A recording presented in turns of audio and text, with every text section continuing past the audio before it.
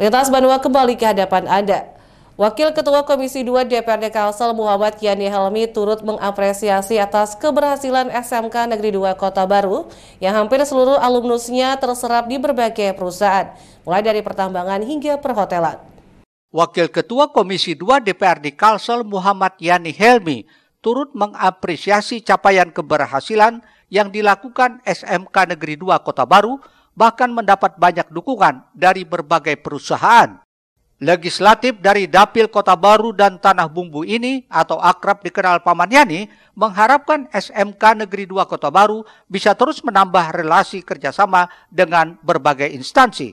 Hal itu disampaikan Paman Yani usai membuka bazar SMK Negeri 2 Kota Baru belum lama tadi. Sementara itu, Kepala SMK Negeri 2 Kota Baru, Edi Rohedi, menyebut Tiga tahun belakangan ini, hampir seluruh lulusan SMK Negeri 2 Kota Baru terserap atau bekerja di berbagai perusahaan di Kota Baru, termasuk di pabrik semen dan perkebunan kelapa sawit.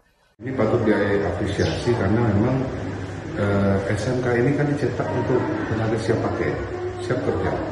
Jadi dunia dibutuhkan eh, mitra dunia usaha di luar sana untuk juga membantu orang eh, dunia pendidikan terus itu juga uh, tidak hanya cukup sampai di situ, tetapi juga uh, tentu saja menyerap dari SDM yang sudah kita cetak ini. Nah, saya berharap mudah-mudahan uh, ke depan bukan hanya 10 atau 15, bahkan lebih banyak lagi kalau kita apa namanya dunia usaha yang bisa mau bekerja sama lah dengan dunia pendidikan ini.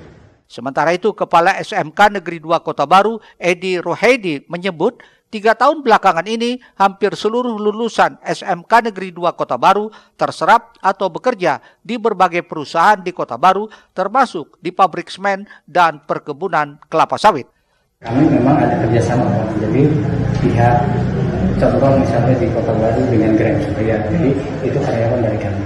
Ya, jadi kami mensuplai tenaga kerja dari kami. Kemudian ada juga yang lintas kabupaten dari Tanah Bumbu, Kata Elwani, ya itu dari kita juga ada siswa yang bekerja di sana. Jadi hampir dari keseluruhan lulusan ini tidak ada sebenarnya yang menganggur itu tidak ada sebenarnya. Hmm. Cuma memang nanti sesuai dengan bidangnya masing-masing. Di samping fokus dalam peningkatan kompetensi di bidang teknis, pertambangan, serta industri, sebelum terjun ke dunia kerja, Peserta didiknya juga telah dibekali sejumlah fasilitas lengkap dalam menunjang kesiapan mereka.